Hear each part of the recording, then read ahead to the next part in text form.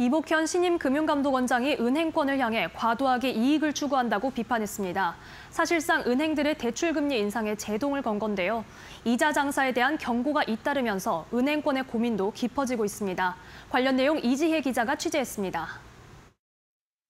이복현 금융감독원장이 은행권을 향해 경고장을 날렸습니다.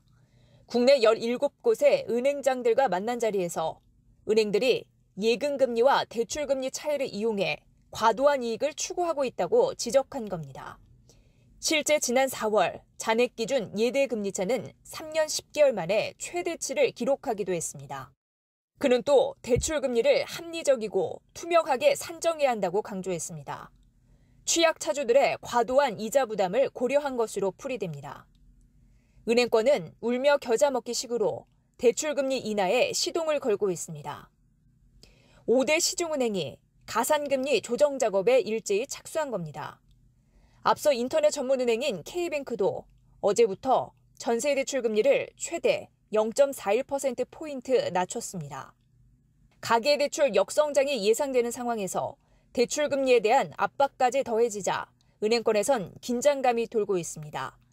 하반기 실적 우려도 커지고 있습니다. 주 수요자도 많은 대출을 받기가 이자 부담 때문에 부담스러운 거는 사실이고요. 전세가 자꾸 월세로 전환되는 부분도 향후에는 전세 자금 대출 증가 속도를 둔화시킬 여지가 있습니다. 하반기는 금리 상승하는 속도나 폭이 둔화될 거기 때문에 이자이익 증가세가 약해질 거다. 경기 침체에 대비해서 충당금을 선제적으로 상당히 많이 쌓을 가능성이 높아지고 있습니다. 은행권이 이자 수익으로 편하게 돈 버는 관행을 벗어나야 한다는 지적이 잇따르고 있습니다.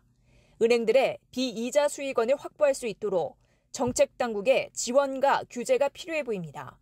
이데일리 TV 이지혜입니다.